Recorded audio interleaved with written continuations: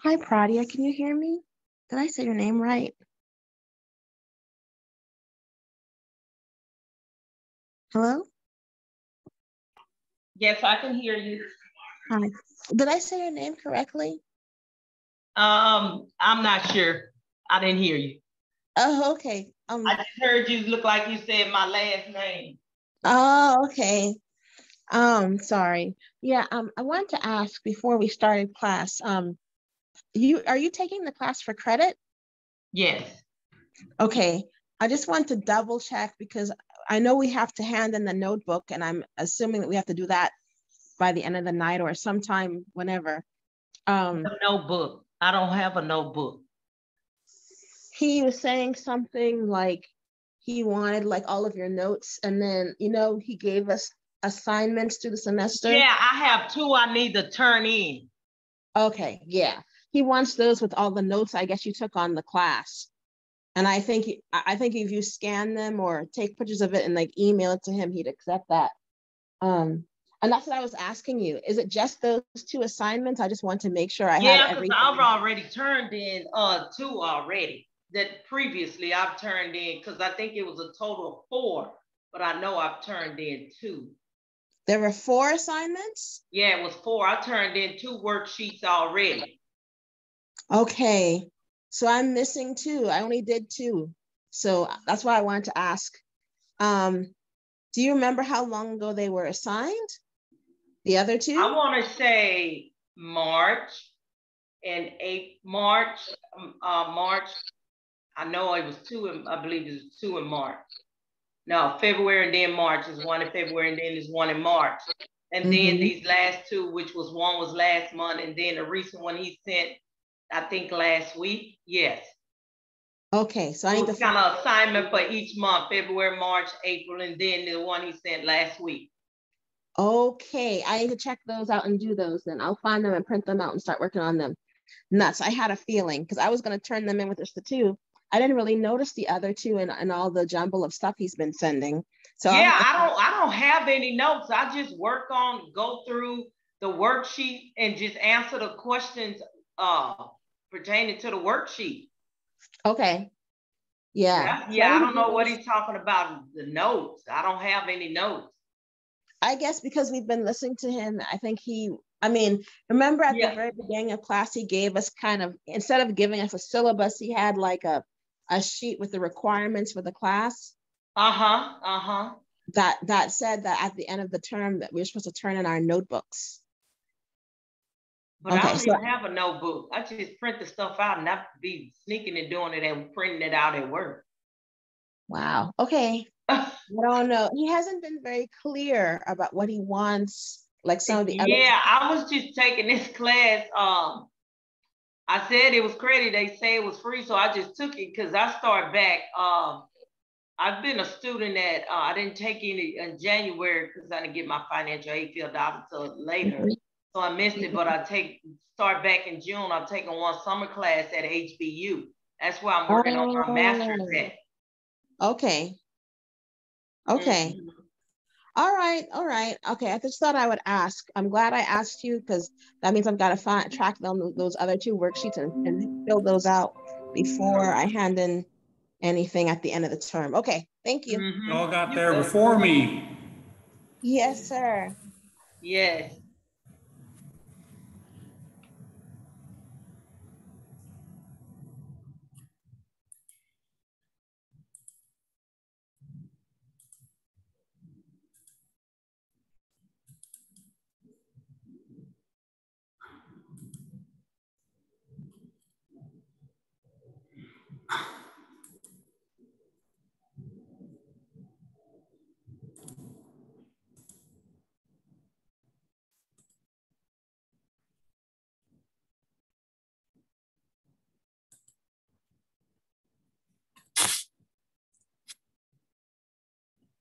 Now is it showing up? Okay.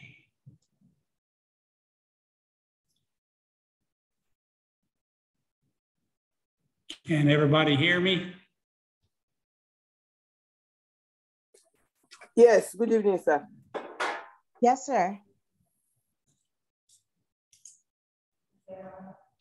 That's all, usually. Ada, Canva, and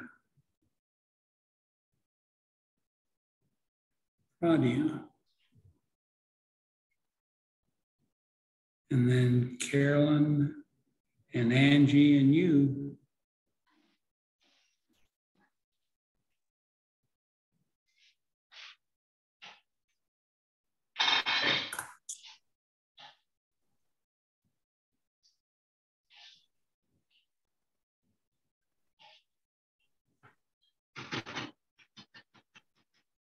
Okay. Um, we want to look tonight at um, the modern versions. Yes. And I'll have to get these sorted for you.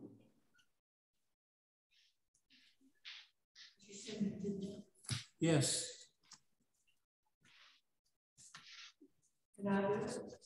No.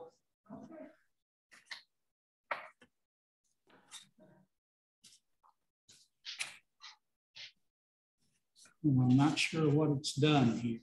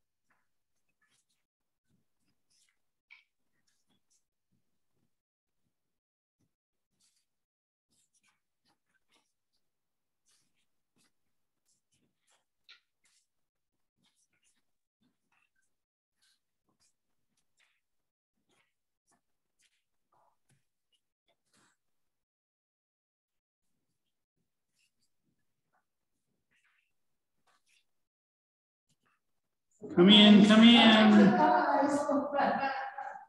Oh, I can't believe the traffic from the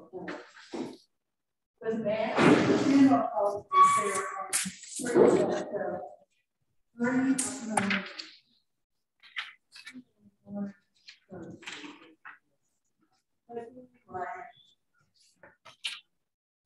um,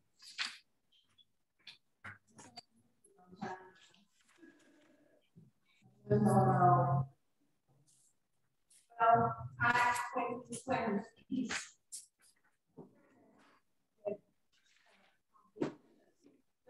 My, my, I said, oh, well, down? And that's the part.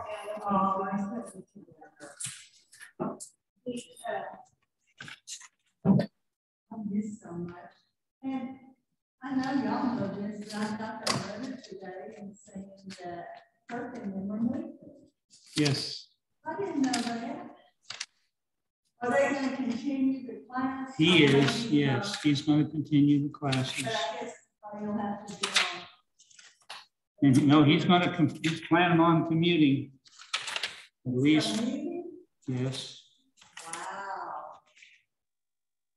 I wonder why they're moving up here, Family.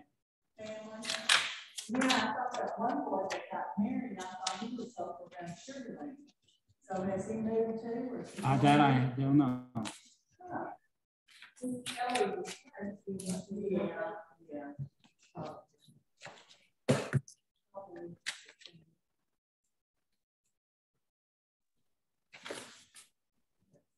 But they're having a, Friday. Yeah. Yeah. yeah. I've never been to that church. They haven't been there. If I can find it, it's that one on West City. Yes. And it's right, well, after you get off of five eighteen, it'll be on your right-hand side. Really, just go down five eighteen? Go down, go down the freeway to five eighteen, get off and go east, and it'll be on the right-hand side, not more than a couple of blocks. I think it's, I think it's on the corner of that very first street behind the, uh, shopping center and everything along So go down the Gulf Freeway, take a right onto five eighteen. there. Left on the five eighteen, Oh, left, east, left. And that's for, in League City, old League City. you know, And then the church will be on your right-hand side very soon. and there, it's, a- that's why. If you meet with every week, that's gonna be quite a task. Yeah, I don't know how he's gonna do it, but, okay. Uh, I sent a whole bunch of things to you this time. Um, you all in the paper have one list that has English translations on it. Um, Let me see if I can get the right one here. Some lineage codes.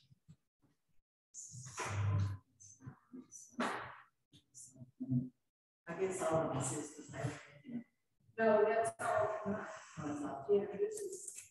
This all, this all, this is two positions on top.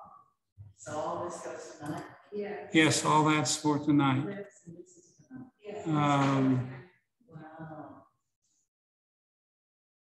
they got one of these, I think, lists like this. But the one I wanted to look at first, just to give you an idea. English translations grouped.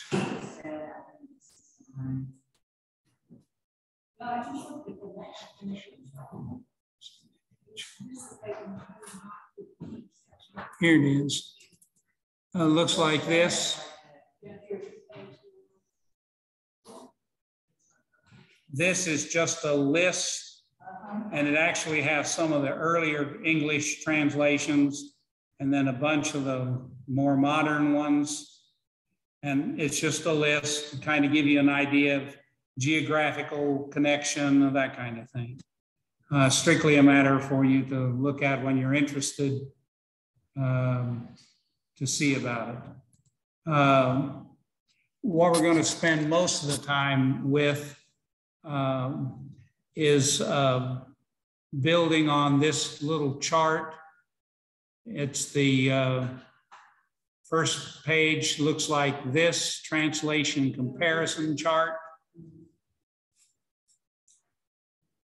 And uh, this gives you a fairly popular view of the translation style of a significant number of these modern translations in terms of how literal they are or how word for word they are versus how dynamic or thought for thought they are.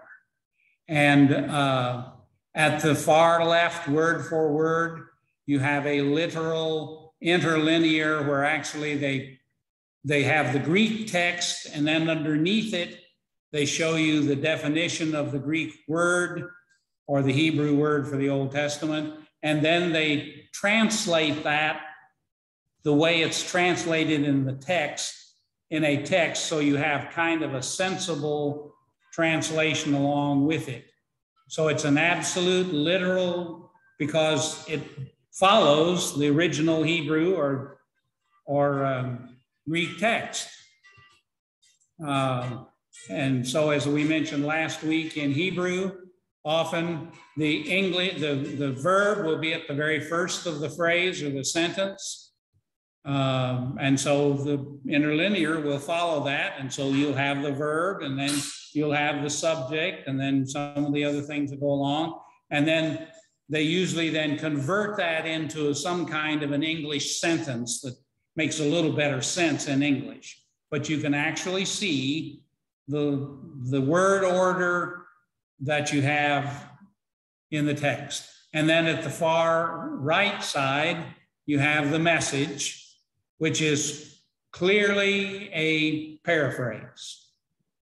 Uh, he reads the verse, the maybe even the whole paragraph, and then he rewords the whole paragraph or the whole sentence or two or three sentences in what he thinks is a meaningful, well said, modern slang almost English. The Living Bible is not too far in from that which was literally a paraphrase in modern English of the American Standard Translation, which was a revision of the King James in 1901. And it had all the these and the thous and all that kind of stuff, just like King James did. Well, the man knew he couldn't read that to his kids and it would make any sense. So rather than trying to do this off the top of his head, he started preparing his Bible reading for his kids every night by taking the passage he was going to read in the American Standard and then rewording it in elementary age English that he thought his kids would understand. And so you have a translation where he was trying to say to his kids what he thought this verse said. And then you have their uh, classification of all the rest of the major modern translations. Uh, the contemporary English version, the Good News translation, which were pretty much a matter again of the Good News translation was actually made for English as second language people.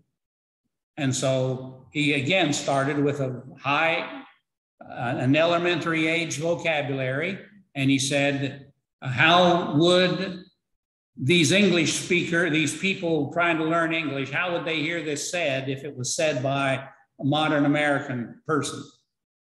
How would he say this? Uh, on the other end, you have the New American Standard, which is simply a rehash, a modernization of the American Standard, which was a modernization of the King James. And it's an attempt to again follow the text as closely as it can, uh, keeping as often as it can the same word in English for the same word in Hebrew or the same word in English. So you can have some consistency of, but as a result, of course, you kind of get bad English.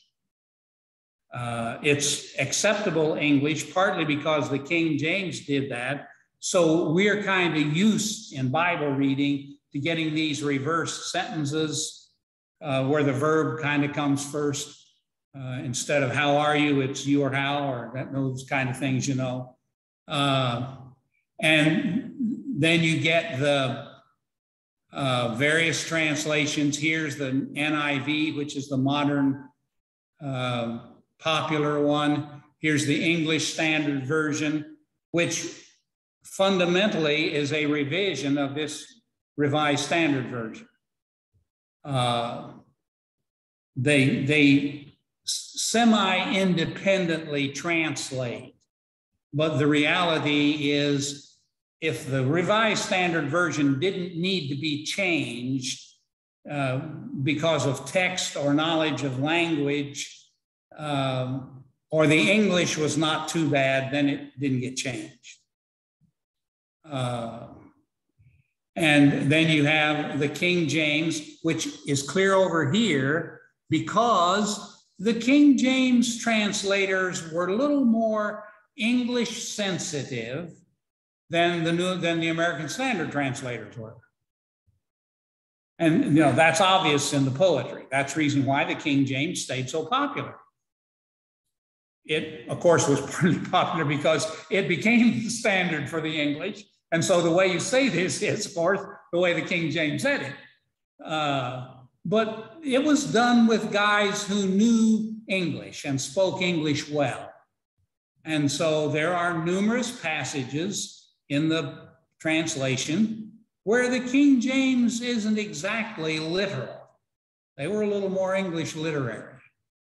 And so it doesn't fall clear over to the left. Uh, the uh, New King James uh, is considered a little bit more idiomatic than the King James. I don't know how they, you know, who who decided that. Uh, and in addition to the modern, to the New King James, there's the modern King James, and then there's a new one called uh, the Modern English Bible. Uh, and it's uh, even more literal translation than the King James, but it, it operates with the King James as its basis. Uh, and then there's even a 21st century King James, somebody else revised the King James, modernizing the English. So a lot of churches will say that King James now. Mm-hmm. So we, but we wrote it. Yeah, yeah. I always thought, Uh, when, when this church started, I was the pastor here, and we had a lot of people who were really committed to the King James. oh, yeah. And so I always used the King James, but I read it in modern English when I was reading it out loud. And they would occasionally, would, you know, the first few times I did it, what translation are you reading? And I opened the Bible and showed them it was the King James, said right there on the cover, King James Version. And, and I had a great big print one. So when I'd open it, they could see it and they could see the these and the thous. And, well, that's not how you read it. I said, and I said, and they would say, well, that's not how you read it. And I said, of course not. That's not how you speak. Line. Yeah. Okay, so you have these two uh, uh, charts that show this. And then we have a series of examples. Let me blow this one up.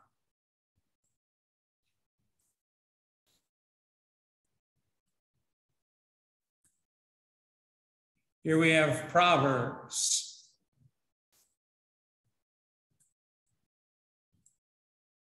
I can make that do in a different size, but I don't know how to make it do that. Um, a friend that has friends must show himself friendly. And there is a friend that sticketh closer than a brother. That's King James. The New American Standard modernizes that. A man of many friends comes to ruin. Slightly different translation. So that uh, chances are you're dealing with a textual issue here. But there is a friend who sticks closer than a brother. And then you can see how the English Standard Version, a man of many companions, not friends. Now, why is companions better English translation than friends? Well, I suppose that's possible. That's possible. But there is a friend who sticks closer than a brother. And then you get clear over here to the message friends come and go. But there is one friend who sticks by you. See? Yeah. And so you can see the clear paraphrasing. He's not concerned about whether the word family was there or not, that kind of thing.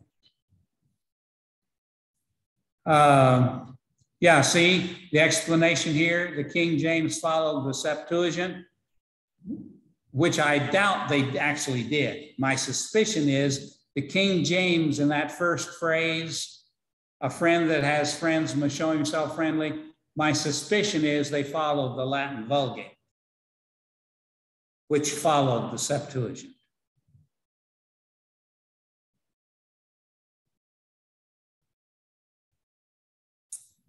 And then um, here we have Romans 3:25 speaking of Jesus whom God set forth to be a propitiation through faith in his blood to declare his righteousness for the remission of sins that are past through the forbearance of God.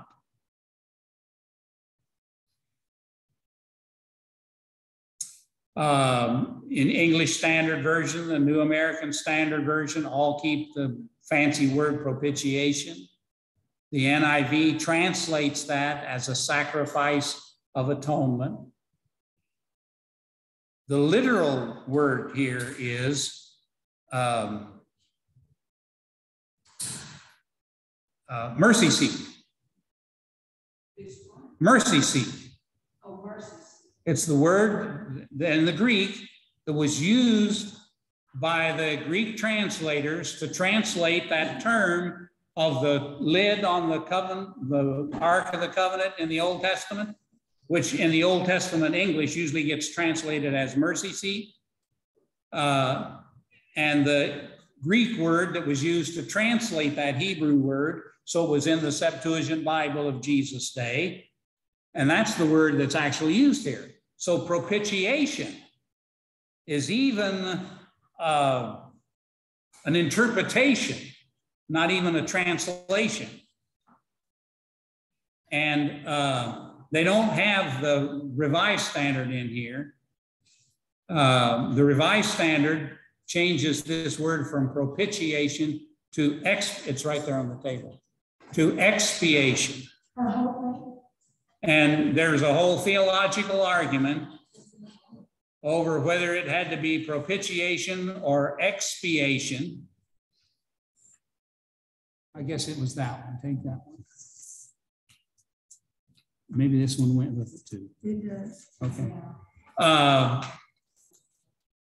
and uh, because supposedly the word propitiation has um, uh, emotional uh, tense in it. That is, the person is assuaged, and expiation simply means the debt got paid off. Uh, and then you can go all the way over. Uh, the NIV makes it a sacrifice of atonement, which again is an interpretation. Um,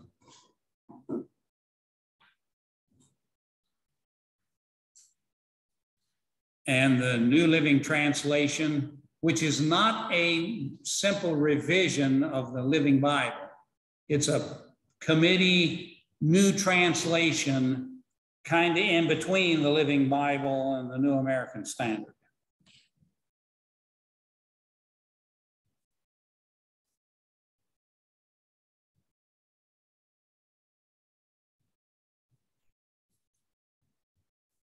Uh, here's the famous passage in Romans 8 Who shall separate us from the love of God?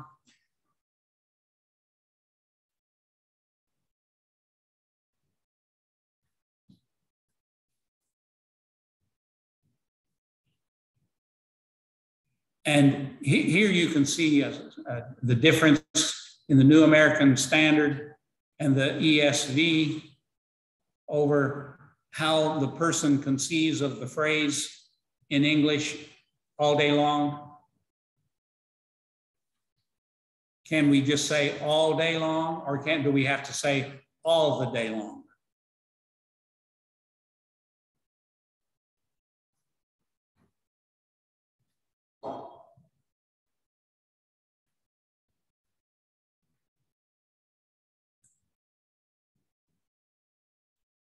And notice this real expansion of this in, in the message.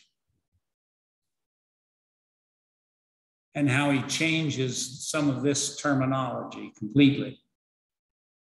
So he feels like it carries a more modern emotional impact.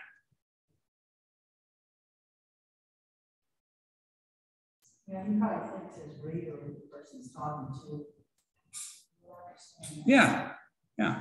This is clearly an attempt to, to, to say something in a very impactful way in English. Does it become like storytelling? Yes, it becomes, and certainly in narrative passages, that's what you get, is, is real, genuine storytelling. Uh, and the, the, the change that has happened in biblical uh, thought in the last generation, there has been a real gauge in that so that several years ago, um, Abingdon Press started producing a series of commentaries called the Storytelling Commentary and they would have somebody totally recast the story. Um, so it, it, you know, they changed the characters from men to women, or they would change the time setting, and uh, still trying to get the message of the story, but totally retelling the story. Uh, that doesn't seem like to me that's what this is doing. No, this isn't. This is just telling yeah. Saying, yes. Yes, and well, that other that that's sacrilegious what you're talking about. Well, no, it's a woman did that instead of a man. You're, you're, well, what they're doing is trying to get you to to think about the story because of the way the characters relate to each other and impact. It's the as I said, it's a yes. Story. Yes. Yeah. My question is, does it become does it become disrespectful more about like the emotion and storytelling. Because, yes. If, if, you're reading like the, the original one, you're studying the word, then you're going to learn what kind of character Peter had, what kind of character Paul had. Yes. You, you get that with, with the earlier version. Yes, when you see your introduction, when you're studying it. These translations were made, you see, for the person who hasn't studied it and is not going to study it. They want to throw something at him that will impact him uh, as strongly as it can. And uh, the, the, the complete paraphrase, and I think I've got one on here, uh, where you get this is uh, Jordan, who does a translation of the New Testament, he calls it the Cotton Patch version. And he actually recasts the text in 1960s uh, South, uh, Southern America. And so the book of Romans is not addressed to the capital city of Rome, it's addressed to the capital city of Washington, D.C. Jesus isn't crucified, he's lynched. Well, that's not really trying to take the Bible into, that's just like you're saying storytelling. I mean, that's just an author you know, that has nothing to do to. It wouldn't in terms of someone who's who has read the Bible, studied the Bible, lived with the Bible. Well, that's our problem. There's too many of them like that. Young people, people well, that's the reason why you're getting this new American, the the the new King James, the modern King James. You're getting the ESV. Uh, you're getting the International Standard Version. You've got, you got the Holman Christian Standard Bible, which now has been recast as the Christian Standard Bible. And, and these are all attempts to stay on this side of the spectrum. Uh, to give you a text that they feel closely represents the way the, the story, the, the thesis, the argument was uh, worded initially. Uh, and why, as I'll show in a few minutes, you get people who are very, very, very negative about the ones on this side.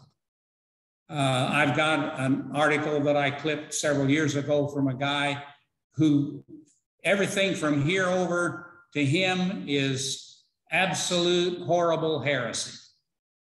Uh, the uh, today's English version, uh, the new the Living Bible is, you know, to him it's it's apostasy and he's not willing to give them any valid credit at all. Uh, when, of course, the reality is that, especially the narrative passages of the Bible, were initially written much more on this end. In the Hebrew of their day, in the Greek of their day, the story was told as story. It was told in common, popular language of their day. So it was originally cast on this side. The Proverbs were ordinary pithy statements of the day in the slang of the day. The poetry of Psalms was poetry of the day and, and carried all the characteristics of popular poetry and song. Uh, so it wasn't over here on the on a pedestal side and the King James.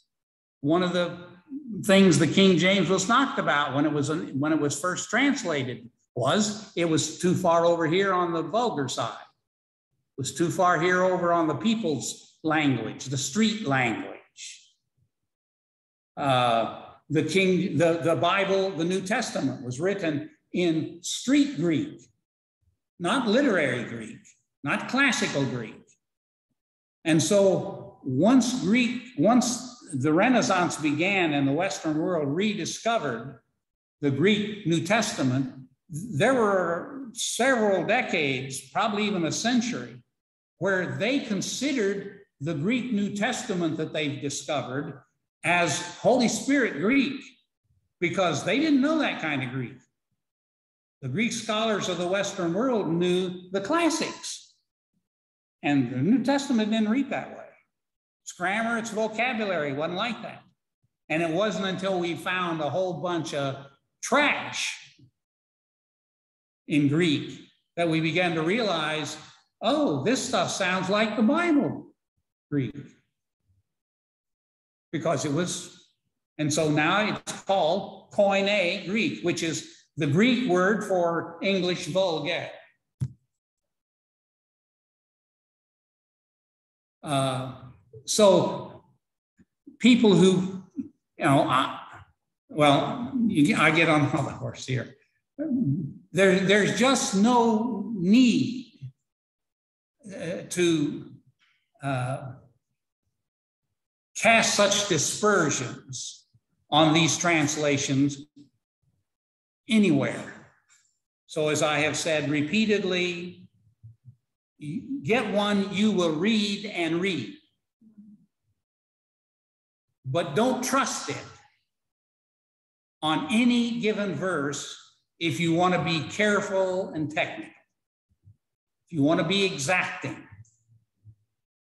But then. you know people that argue Yeah, uh, this one, this yeah, vehemently. There was a Yeah, there was a huge, and still is, on a couple of these modern translations.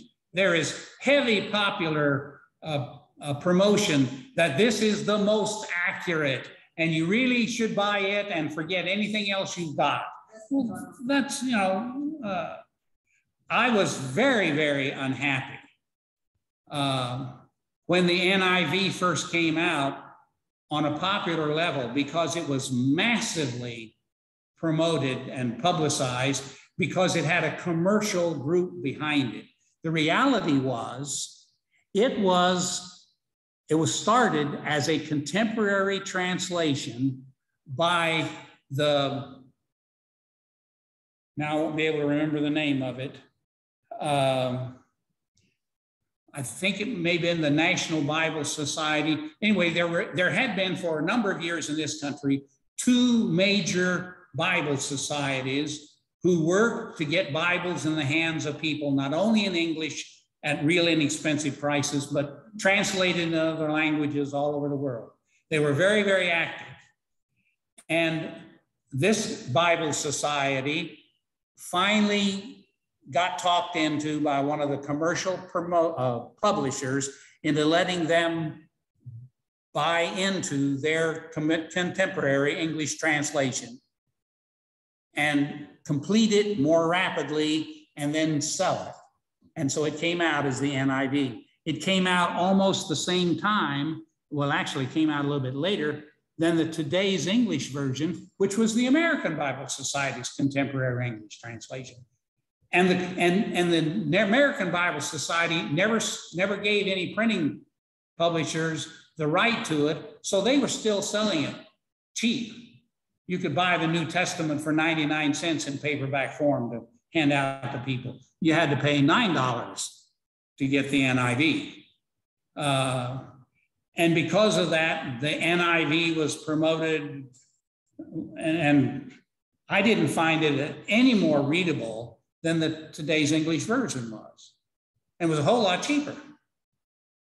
Uh, but this had a promoter behind it. Uh, and the reality, of course, it wasn't quite as uh, paraphrastic or, or dynamic translation than the today's English version was. And they could really promote it because the American Bible Societies was the major work of one man that they simply committed to getting it done. And so he did it. He did it in consultation with our guys, but it wasn't a major committee project, and the NIV was. And so, you know, it's going to be more accurate and all that kind of stuff. Are these yours? They're not. On, on this paper, no, none of these comments are mine on this paper. And I'm going to show you one that's really radical. In fact, I probably should take some time to point out some of these. Some the, these footnotes are the are the thoughts of the person who put this together. Yes, and and you know take the footnotes as a grain of salt. Their personal opinion and as I said here, you see, where it says the King James followed the Septuagint, I cannot believe that the Septu- that the King James ever followed the Septuagint independently. I know that the King James frequently fell back on the Latin Vulgate. And the translation they put in the King James was not a translation of the Hebrew. They didn't know what the Hebrew meant. And so they opted out for how the Latins translated it in the fourth century. And so I'm almost sure that's what happened here. Uh,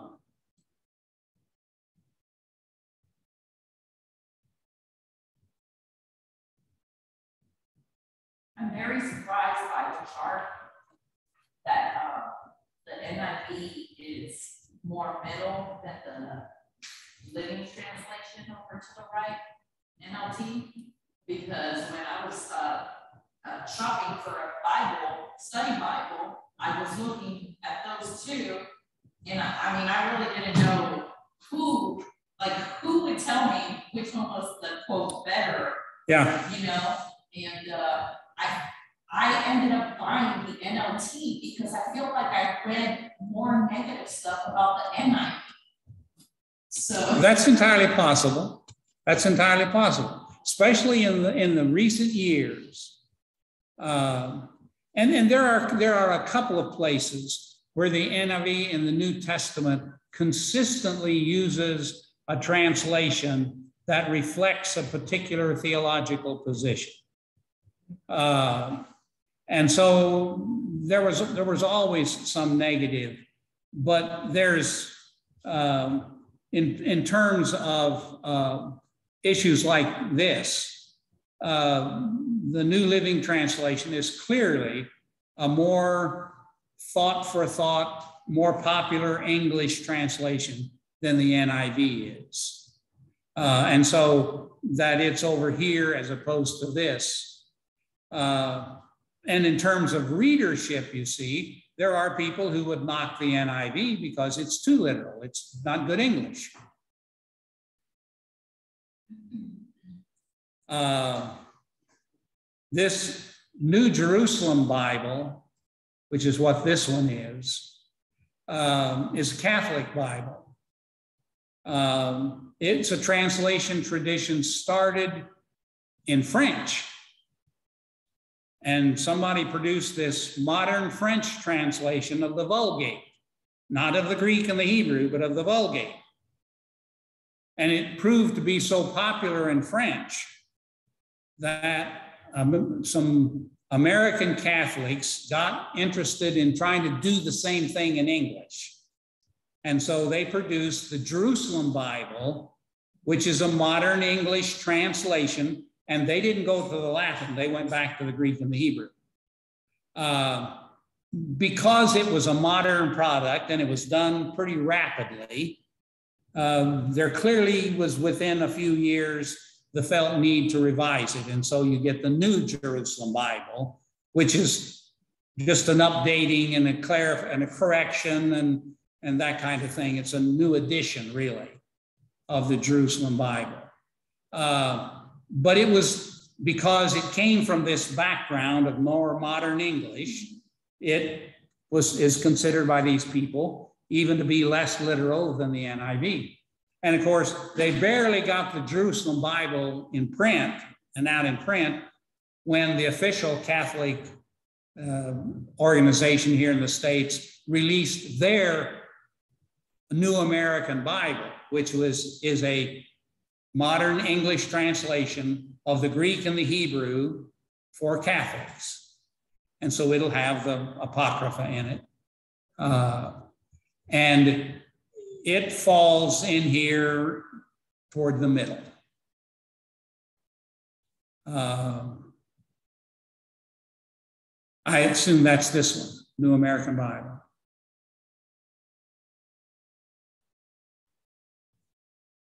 And so you can see how the, they compare those two, which is probably a legitimate comparison. Uh, Well, I like to read all the different translations, and I really enjoy reading the Jerusalem Bible. Yes. It, I read through the different translations. It, it's a good it's a good English translation. I have four, four of them, but uh, Okay, uh, so that's what this is, and you've got several pages of comparisons. Um, and and they're different. Uh, I may have even combined two things here. Yeah, it looks like I did. Uh, because this is a new set of comparisons. On page six, you have a different set of comparisons, different translations. So in the Catholic Bibles, I have never, I have never read it for the for the same books that's in the like yeah the other Bibles. Um, I don't know what we would call those, the non-Catholic Bibles. It reads it's the same. Well, it, it reads the exact same thing the text does. Oh yeah, the text is the same. Well, and, and let, me, let, me, clarify that in terms of um, you have to be sure that the translation, the Catholic Bible was translated from the English, from the Greek and the Hebrew, or the Vulgate, the Latin. Some of the uh, Catholic translations, like the very first one, Douay-Rheims, which has been revised numerous times, and I think eventually they came out with an edition actually based on the Greek and the Hebrew. But originally, it, like the uh, uh, early uh, uh, modern um, English translation of the standard Catholic Bible in the United States. It was a translation of the Vulgate. of the Latin. And so you would have numerous passages where there'd be a slight different phrase because it's taken from the Latin. So you're translating a translation. Uh, plus the fact that there were a lot of those uh, textual, those uh, text differences that we saw, uh, there'd be differences there. Uh, but yeah, right. So you can look at those comparisons. I've got a couple more of those for you to see. Uh, let me grab another one. I have a long one. Um, starts with uh, Genesis on the front page. Is that this one? I think, yes. King James, New American Standard. That's too big. Uh, Genesis 1 should look like this on the front page.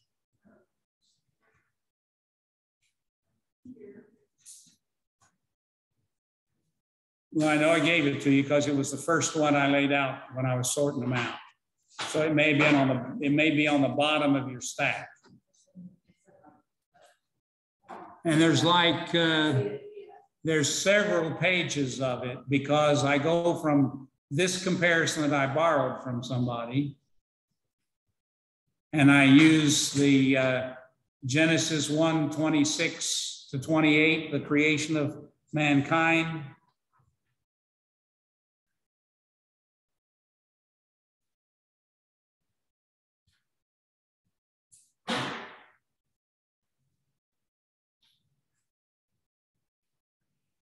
And uh,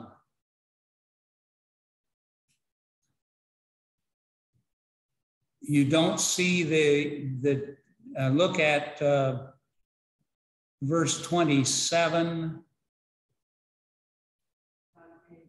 Uh, in the King James, in the image of God, he created him, male and female, he created them. So God created man in his own image, in the image of God, he created him, male and female, he created them. Did, did anybody pay any attention to the fact that's bad English?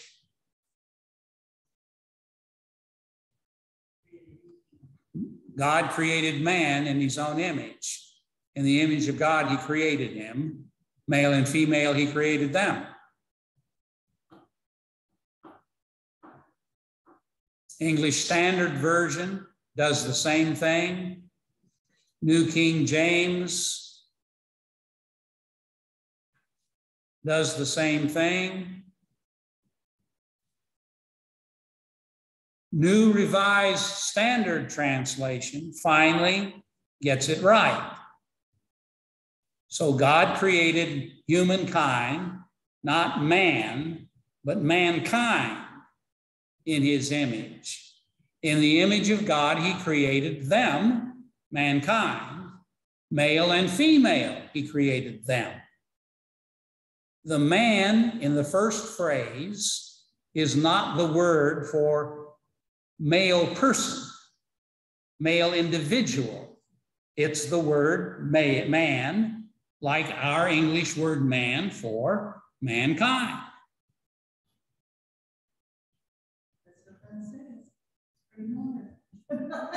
See? I know. And and we created this whole gender issue in the language because we didn't pay attention to the fact that most languages do that. And in Hebrew, it, it's instructive because it turns out that the word for mankind, for people, for the human race in Hebrew is Adam. So in Hebrew, you read this God created Adam in his image. And then when you get over to chapter two, and he creates Adam, the story begins to show us an Adam, a man who then needs a woman. It's the same word in Hebrew. And that's the clue in chapter two that the story in chapter two is about more than a man and a woman. It's about Adam, humanity, in its male and female image of God. And I argue, and there are a few other scholars who do, it's not, it's not standard, but I argue that the only thing said here in the text that what might describe what the image of God is that we represent is that we're male and female. And therefore, I argue that a person is not in the whole image of God. Only a married couple are the image of God. And that's why God doesn't have to have a consort because he's whole, male and female. And that's why in the Old Testament, God doesn't have a bit of trouble referring to himself with feminine models and metaphors. He can call himself a mother hen, he can call himself a nurse, a nursing nurse, even. Uh, well, that's interesting because to me that sounds like what you're talking about today. You are human. You are God, God, and you can say you can place a meal or human. And that's just what you just got to if I understood you correctly. Yes. Okay. Where you, you know, I as a person am only part of the image of God. Yes. And all of us, and, and given, you see, the difference not only of our male and femaleness, but then the variations of all the qualities that are therein means that none of us is an adequate image of God. It takes all of us compositely to begin to have an image of God. So, especially the chauvinism that developed in Judaism and then in the, especially the early Middle Ages of the church, is totally off base. Uh, that somehow we males uh, have a way larger corner on God than the females do uh, that uh, because there's a whole lot of God that we don't have. uh, and, and the more you hype specific qualities and characteristics as masculine versus other characteristics that you classify as feminine, the more certainly and absolutely you make your masculinity a misrepresentation of God because it lacks all of the feminine qualities that you've refused to accept among yourselves, on yourselves, within yourself, that God possesses. Uh, which incidentally, while I'm at that, I ran across an interesting article uh, just a couple of days ago, um, where the writer argues that the uh, Greek text, uh, the received text, the textus receptus, that is elevated by especially the worshipers of the King James Version, um, as the best text and have very bad words to say about the other texts that modern scholars prefer. uh, and the King James itself, both of them, in several cases, clearly take readings and translations that are anti-feminine. Uh, they partake of the chauvinism, the masculine chauvinism of the Middle Ages. Uh, and uh, uh, one of them I remember is they translate two feminine names as masculines and then refer to them with a masculine pronoun. When they're clearly in, in Greek, feminine names, and the pronoun is feminine.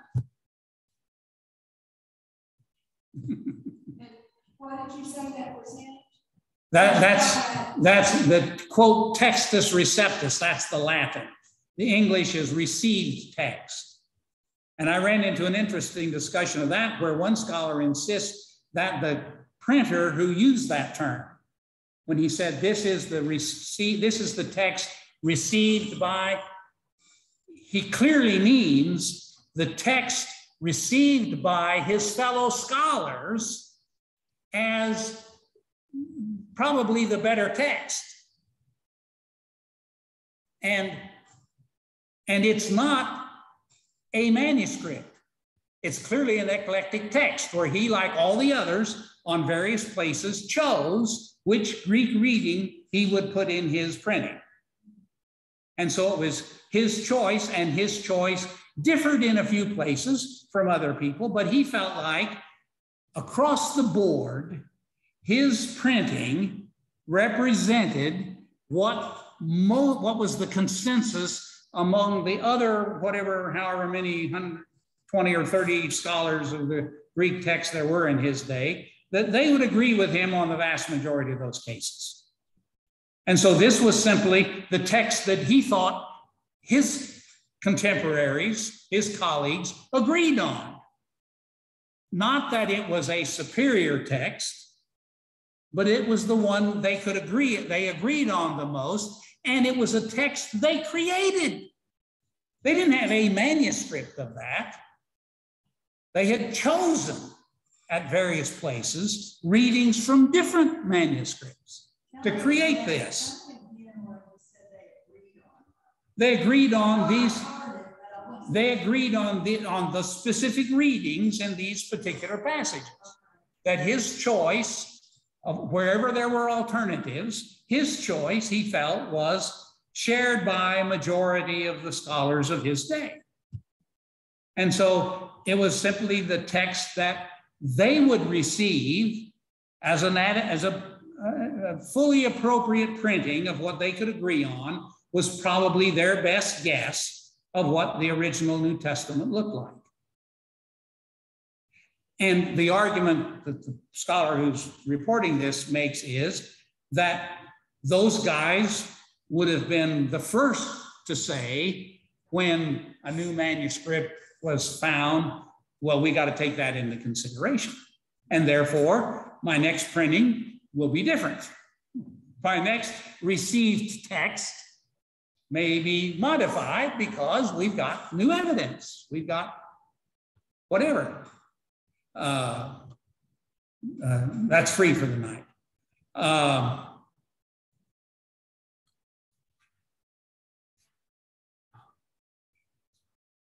um, this one that I gave you that started with this one in Genesis, uh, I go to, uh, after a couple of pages, Page five, we have the first four verses of Psalm 24 uh, that you can read in a variety of these translations.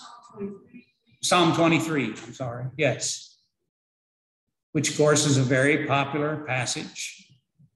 Um, one passage to one look forward to look at is, of course, you see the figures. Uh, watch particularly what they do with shadow of death.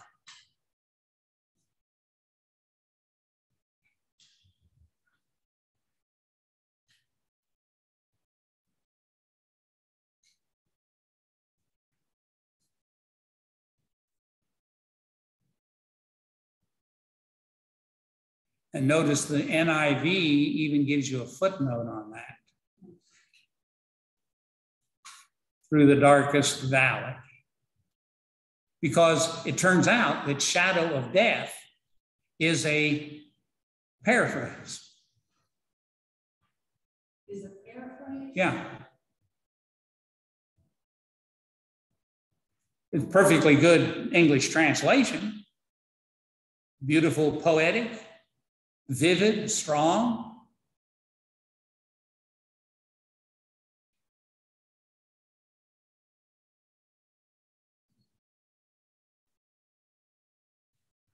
And again, remind you that this whole issue of literal versus thought is constantly messed up in both Hebrew and Greek with idiomatic terminology.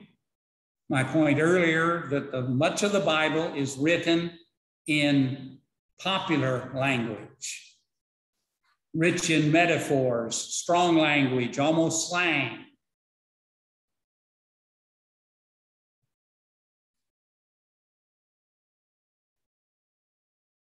And notice, you see, the message still uses the death valley imagery.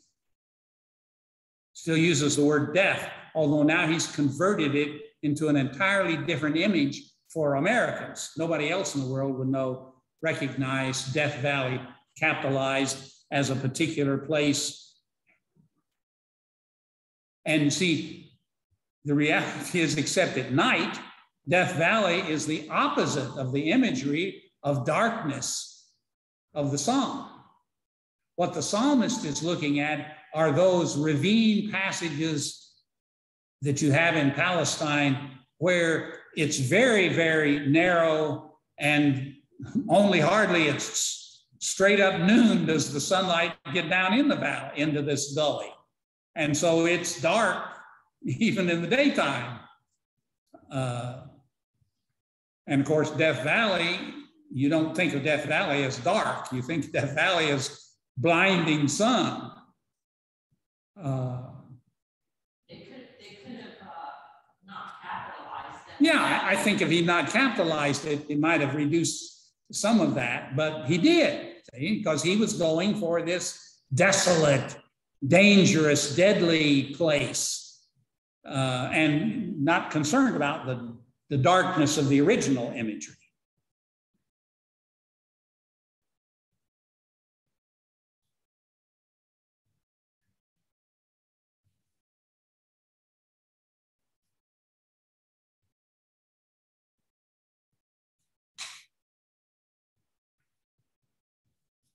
Um, notice the turn the contemporary version does on this um, leads me in righteousness.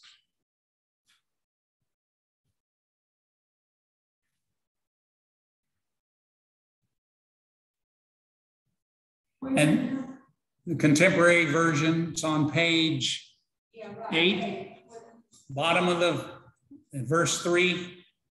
You refresh my life you lead me in the paths of righteousness, which in, in that terminology, see, you're looking at God leading me to walk in the right path, in the right way, behaving myself, doing the right thing. And they turn it in, you lead me in the path of righteousness, your righteousness. You are true to your name. It's not me that's being staying on the right path. It's your staying on the right path.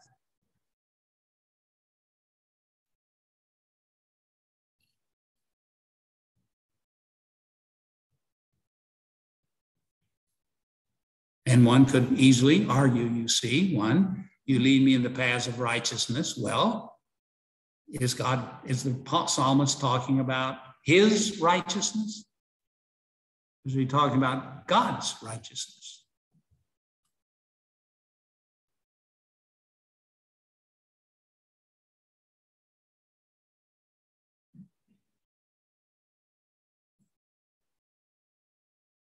And then I give you a same thing on Isaiah 7, which has several interesting features to it.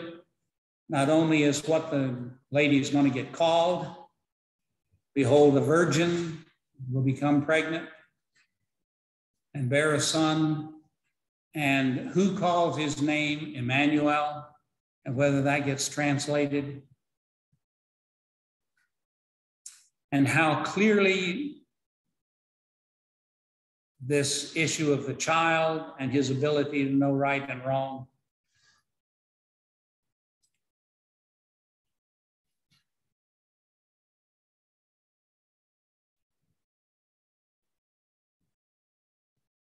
And see, the NIV chooses the woman will give birth and call him Emmanuel.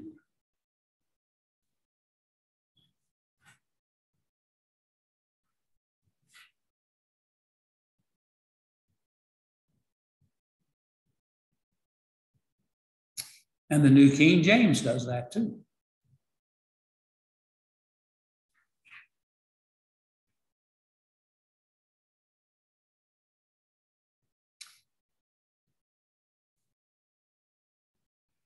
And of course, see the good news got clobbered because they wouldn't translate virgin, virgin. They just translated a young woman who's pregnant will have a son.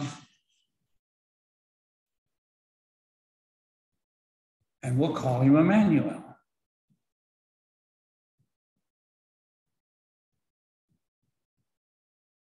And see, the sign here in this version, in this idea, is that this girl, this young lady, gives her son this name. God's on our side, God's with us. Even though they're in the midst of this dangerous situation where two kingdoms have allied themselves with the intention of eliminating Judah, conquering it. And God says, This young lady is going to give you a sign. She's going to call her son, God's with us. And it's going to come true because before this boy is old enough to know the difference between right and wrong, they're going to be gone. They're not going to be near. So she was prophetic. She knew what she was talking about. She had women's intuition.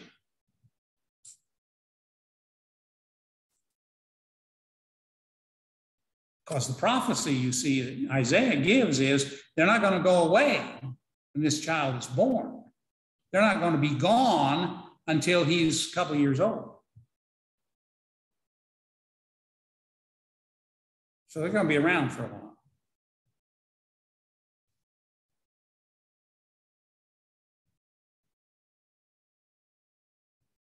Now, the easier way to understand that, you see, was would be that by the time this child is born, the danger is already gone. So it's easy for her to call him Emmanuel because God's demonstrated he is with us. He's saved us from this situation. But the writer doesn't say that. I mean, Isaiah doesn't tell the king that. He doesn't say. By the time this kid's born, he's going to get the name Emmanuel because they're going to be gone. They're going to be out of the picture. We won't have to worry about them anymore.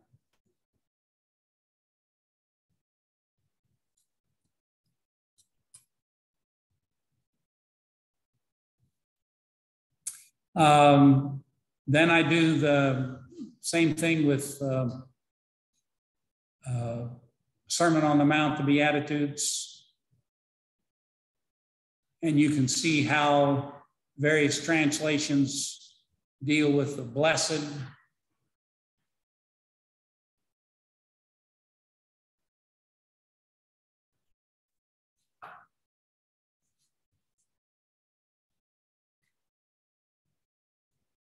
And notice the switch from the good news to the contemporary. Page 15.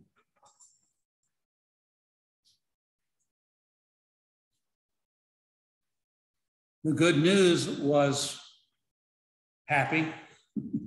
to translate the emotional character of the word blessed and simply paraphrase it happy. Whereas the contemporary, which comes later and is more deliberately paraphrastic, isn't willing to narrow the concept of blessing to just the emotional feeling of happiness. And so they revert back to the word bless again. And now they turn it into an active verb. God blesses those people who. Well, the contemporary version, verse six at the very end, it says they will be given what they want. And that's kind of like where we are these days, where it's like, well, you know. Uh, a lot of people think you pray for it, you're going to get it. Yep. Um, except that the, the, the, the, they would argue that the phrase, the, the, what they, they will be given what they want is focused on the fact that they want to obey more than eat and drink. And therefore, God makes them obedient. They get what they wanted, they become obedient. But I can see how you could, you, your reading would be very apt to happen. That people would read this, those who want to obey God more than eating or drinking will get whatever they want. So you got to be careful, see how you translate. How are people going to read this? And then we do John 3.16, and there's a bunch more of these. Uh, and we're about to run out of time. So let me um, go to one that I wanted to show you, and I just gave you the first page of this one. Um,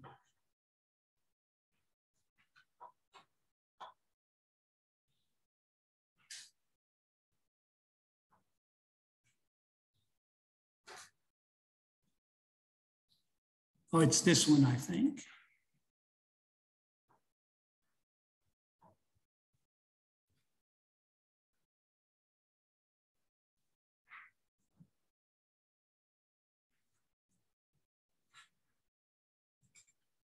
No, I didn't think that was it.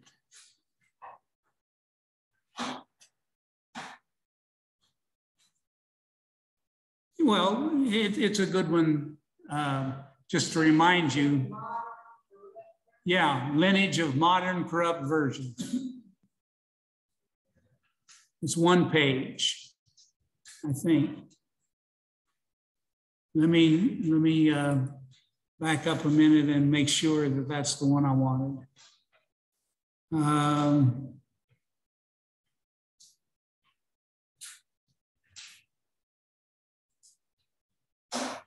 choosing.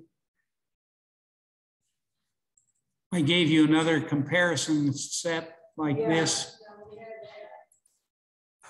And um, okay, well, uh, let me see what I gave you then. I gave you something.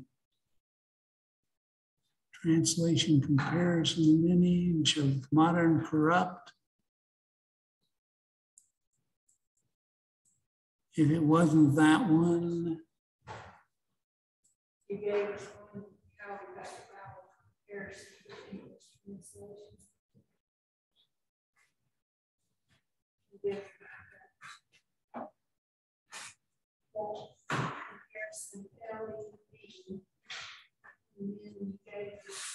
Should be one that's a single page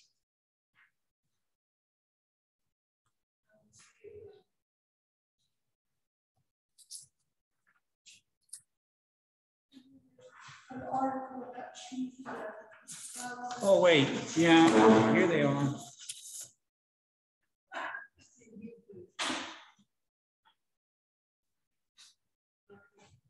Here's the one lineage of modern uh,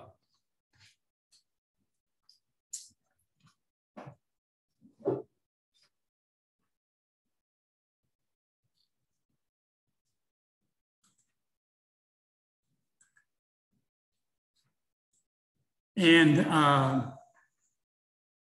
the King James Bible has a rich heritage of uncorrupted transmission through the ages. Um, then the modern versions have a corrupted of deletion, omissions, additions, rejections, confusion, etc. They're a fruit of arrogant scholarship, which includes homosexuals. He's high on that. Um, if your pastor rejects the pure lineage of the King James Bible, well, there is no pure lineage of the King James Bible. Nearly every printing of the King James Bible changed something words, spelling, something.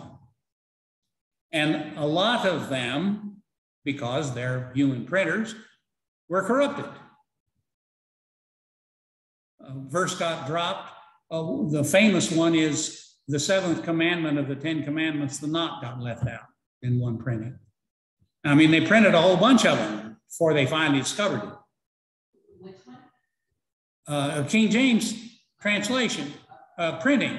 And that printer, his printers missed the not in the seventh commandment. Uh, so it came out, you shall commit adultery. Uh, and every printing was that way.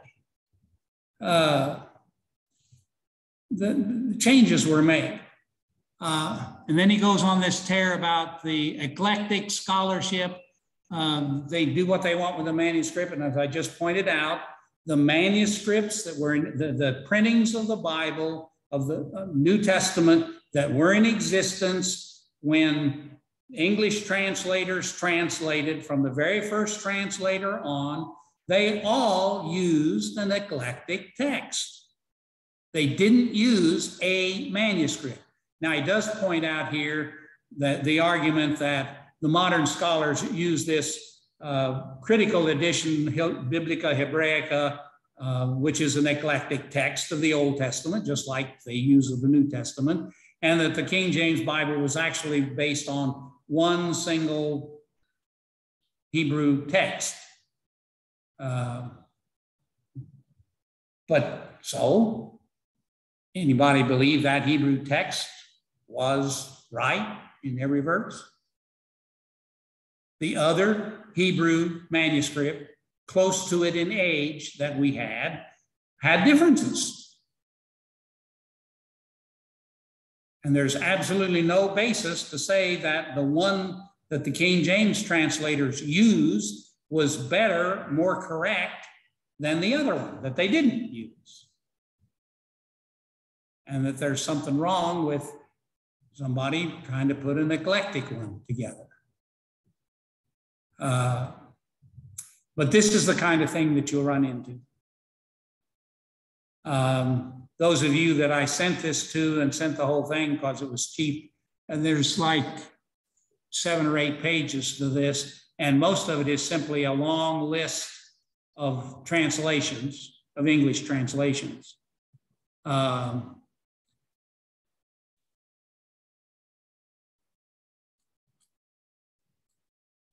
There is another one that I may have sent, but it was even longer to pass out. And the writer makes critiques like this on all of these versions, uh, pointing out serious places where they made a mistake, uh, where they obscure. One of them uh, picks out several verses where he thinks the Trinity is reflected. And so if the pronoun isn't right, then they're hiding the Trinity, as though the translators were deliberately trying to obscure an important doctrine because they don't use the proper, in his view, the proper pronoun on in this verse. Uh, when the reality, of course, is that translation he's debunking makes frequent uses of verses that would reflect the Trinity. The fact that it doesn't on this one, which one can argue that the intention of the writer wasn't Trinitarian anyway.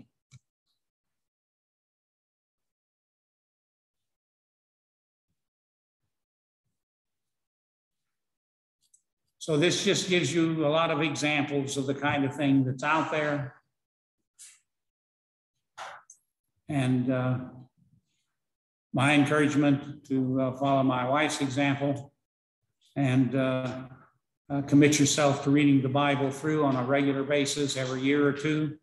And every time you do it, uh, go buy one of these inexpensive paperback versions, seven, eight dollars, and use it uh, for the year. And uh, right, and uh, uh, and then therefore you're not concerned about scribbling on the page, uh, using a pair, using some crayons to mark the passages that strike you one way or the other, uh, green for go and red for stop, and black for bad, and or whatever it is you want to do. Uh, because inevitably you'll read a passage that you've read many times before, and because of the way it's worded this time, it'll strike you. And it may be a bad reading, but it caught your attention. It made you go look at this verse a little more closely. And you finally concluded, well, these guys did a bad job. Fine and dandy. But the fact is, it made you go to that verse and study it. Uh, and so it did its job. It was simply supposed to be a starter. It was supposed to be a prompter. And what are you trying to tell me, God? yes. If it makes you question, it makes you ask, that, that's its job. Is this, and, and there will be more, there should be many times that when you read it, you will stop, you will be stopped dead in your tracks and say, Really? Is that really what you meant? Are you sure? Um, and then you need to. Now, if you're concentrating on your Bible reading, that's when you need to have your piece of paper right handy for you to write yourself a note on that and say, well, that's one to look at, but I got to go on and get these other three chapters read today. And you go on and you read. Uh, but there's having a cheap Bible that you'll write that in the margin. So it's right there. You can't escape it. You can't lose it. It's right there on the page. It'll be easy to find. Uh, your kid can't even pull it off and throw it away.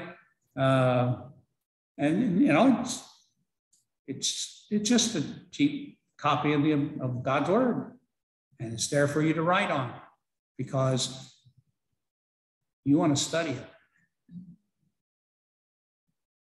Did you, did you, you didn't get a copy yet, but did you have to read that after more than two decades in the Hebrew Bible, the Bible, King James? Did you happen to read that article last night? No, but you were handout? Yeah, it was the last one of the handouts. Well, uh, you need to read it. Uh, I, I, uh, there, we had a copy of it. He said, no, the first one out, copy.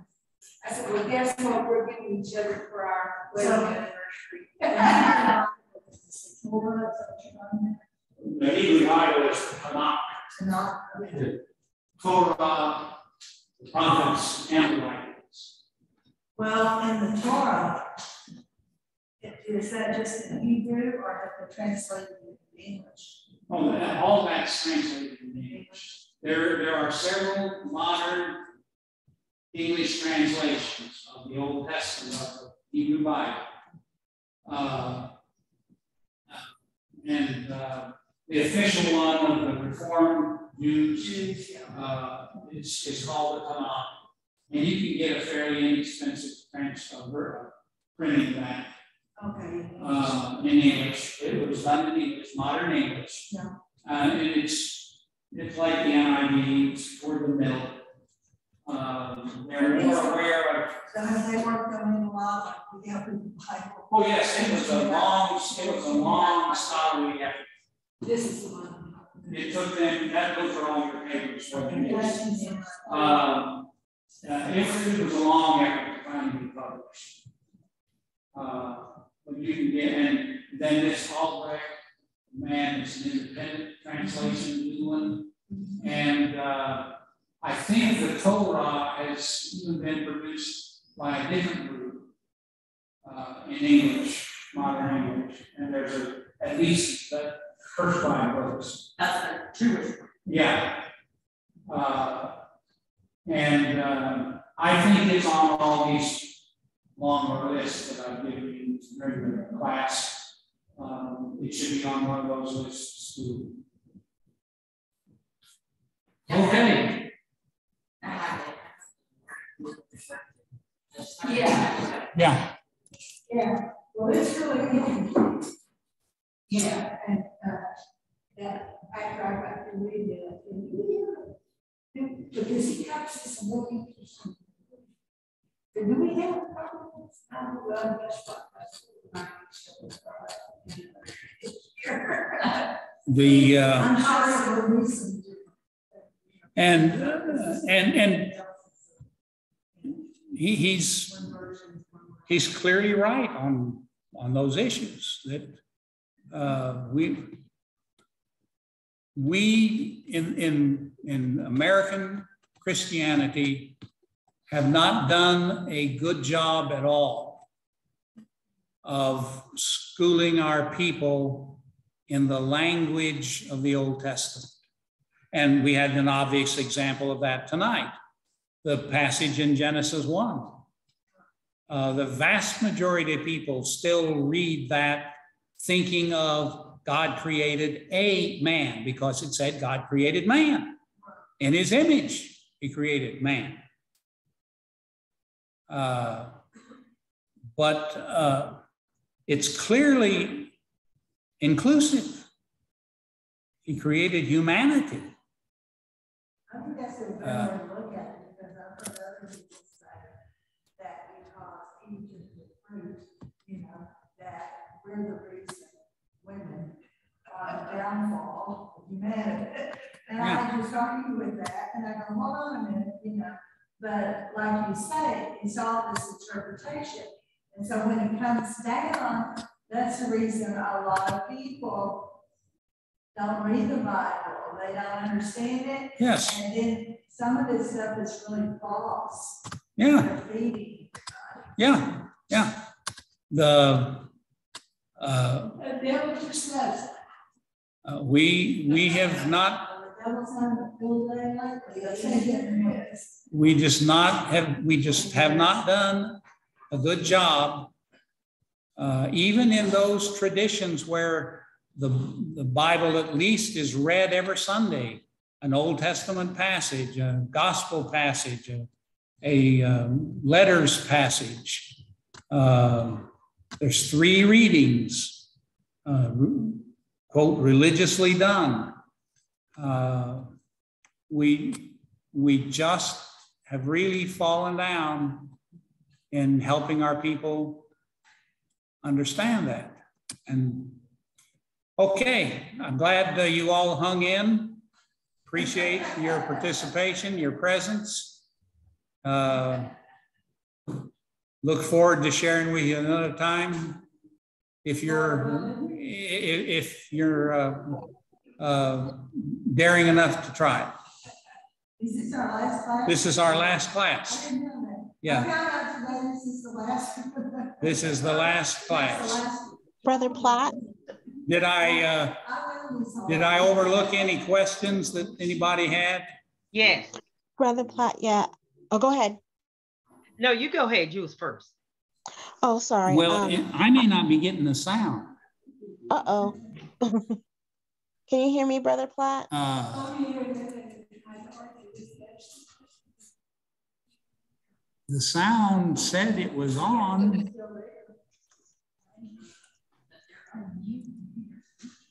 I can hear you. Can you hear? Uh, And it said my sound, He cannot hear us, I don't think. oh, okay. You did something. Oh, all right. I got it, I got it. I did too. Did you read it? Yeah, Oh, okay. Are you going? it's next Friday, Friday, the thirteenth. So I'm at his.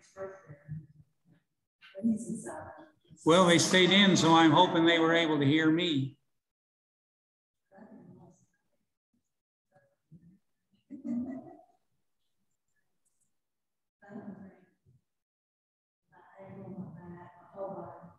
Did you have your gut get hold Dr. Shannon?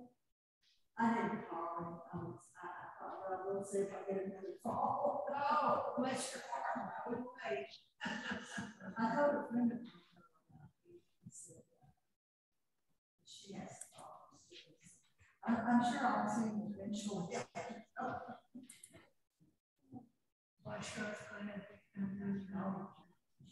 Well, I wasn't muted. I'm hoping you all were able to hear me. Yes, sir. We could hear you. Can I'm you not hear hearing them for some reason. No? Okay. Well, I guess that's the end. Yes. Yes. But it's not, this is seventy-five. Can you hear us? I'm gonna type it in the chat.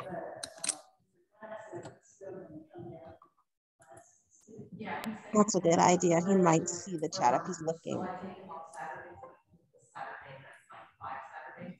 So this Saturday is our last class. So he said the, the next course that he does the same for mm-hmm. Saturdays, that I would. Oh, I wrote the wrong here. I don't know how he'll do. So it. this The will be weekday the other ones, one. and then the Saturdays will be there three out of two, and then the other two will be handled by a different. Person.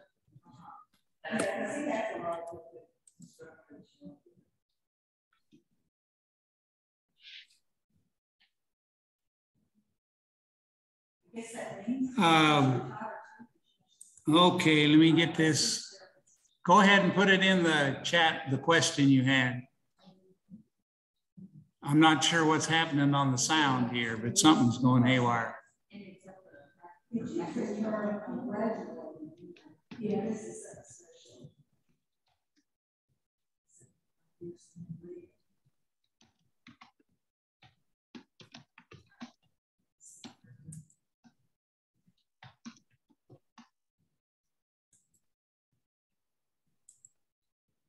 And I'm also leaving. What, five years? We showed them he was a, a retired town.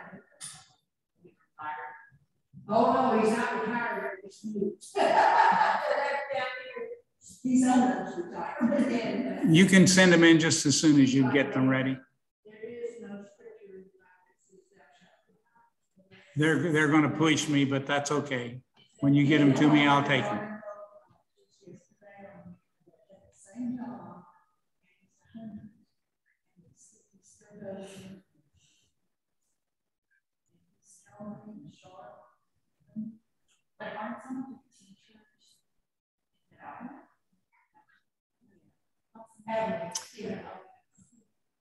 I'll bid you ladies adieu.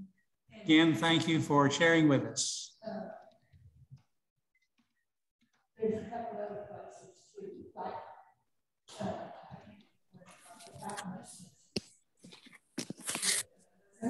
Thank you. yeah, Which is like this line. I'm not hearing you, Ada. Thank you. For whatever reason, um,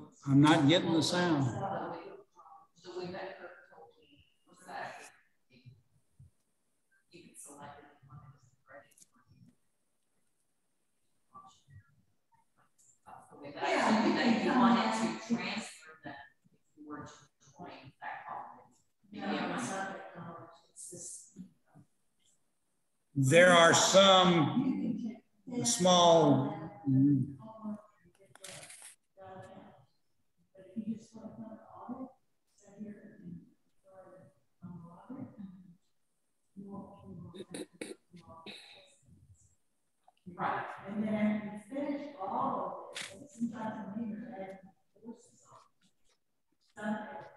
Guys, I don't think you can still hear. credit, when you Just wanted to tell it's everyone not taking really it fast, and it was nice to uh, college credit chat with you. in terms of being able to transfer that is severely limited to the colleges that would accept it. Okay.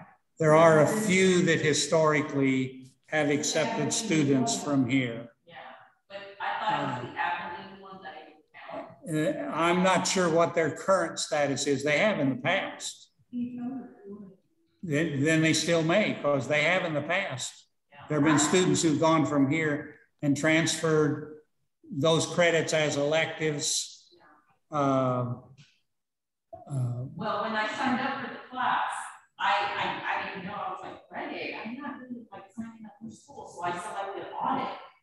But for the life of Christ, last semester I was doing every Monday, I was talking to Vivian and I was like, you're not doing the homework. And she's like, well, you know, it's, it's like she's taking it 20 times, now she's doing the audit. And I was like, oh, then I guess maybe I don't do the homework. You know, like I wasn't sure. And she was like, well, if you do the homework, then select credit and you'll get credit for it. I was like, okay. So I switched it to credit. I was like, why would I get a lot credit if I'm doing the work? I've been in class with a lot of people, and sometimes they'll take seven classes, mhm. and they, they, you know, for credit. Mm-hmm. And they've been at it maybe four or five years, because y'all have like, like the sermon and all the different things. Yeah. you teach. And they claim what they told me, if you get through it, that you can go out and you can start a church or you can work as a social minister or anything. So you don't get credentials? That school doesn't have any way of giving you a credential. They, they have a certificate of completion that they give. And that's,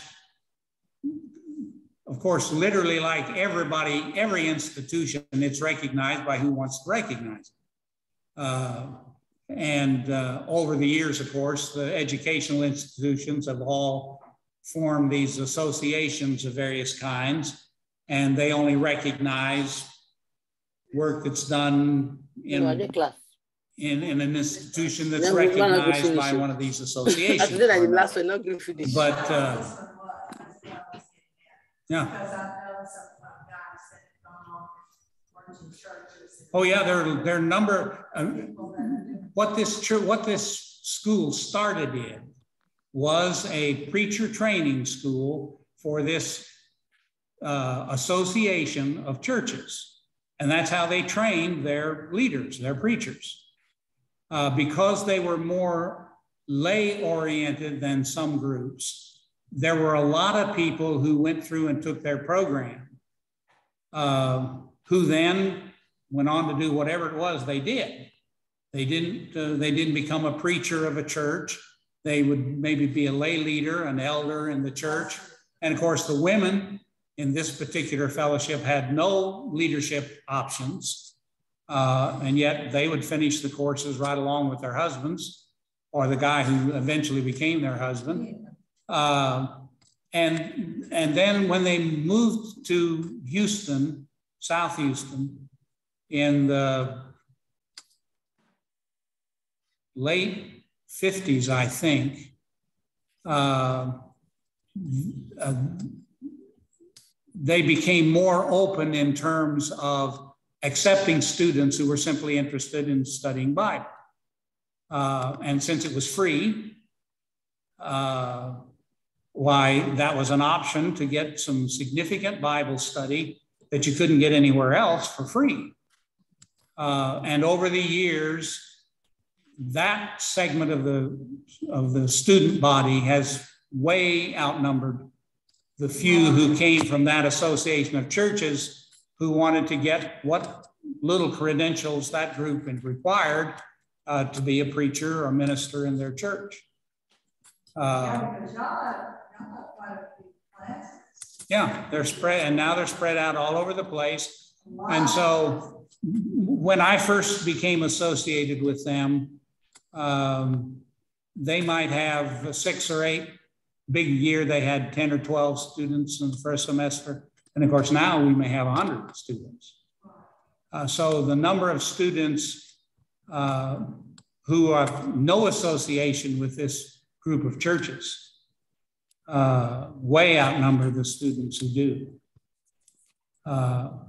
But there are there are students from other groups that have graduated from here who have gotten leadership positions um, several fellows in Baptist churches um, uh, are recognized as pastors of their church, uh, and their education came, their formal education in Bible came from here. Uh, but that, that church group just did not have the requirement that you had to have a bachelor's degree or a degree from a seminary. Uh, they had various programs for lay leadership. Uh, and nearly all of the. Yeah, and but even the, the yeah, even the even the Methodist Church, the Presbyterian Church, the Baptist Church has had a long tradition of lay recognition, and they have either their own formal program or they recognize certain um, schools that, uh, that have classes that they feel are acceptable level of work. And uh, if you've uh, gotten good grades at that school, why, then they take you through whatever formal process they have to recognize you at whatever level of leadership uh, they want to apportion to you in their in their fellowship. Uh, and even the more formal groups like the Methodists and the Presbyterians, um, with the dearth of formal clergy nowadays, they're allowing more, well, even the Episcopal Church is allowing more of this lay leadership uh, recognition to hold posts in small, especially small towns, rural churches, where they can't begin to find a full seminary qualified clergy that would go there to work.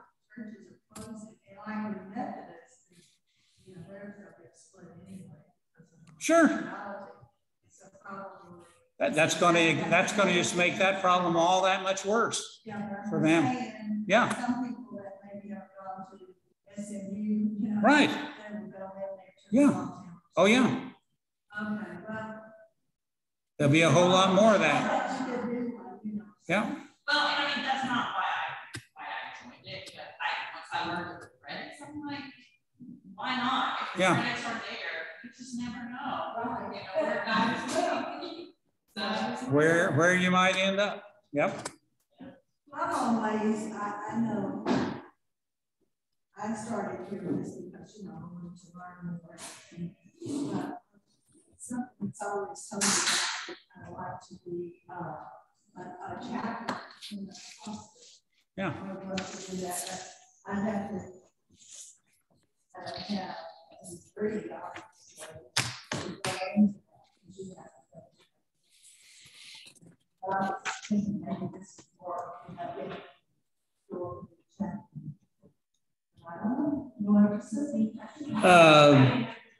there's a um, there's a program at um, Bayshore now.